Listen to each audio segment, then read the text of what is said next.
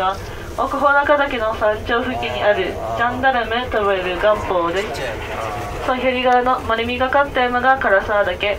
頭だけ少し見えています。山が蒲田富士と申します。さらに左へ南岳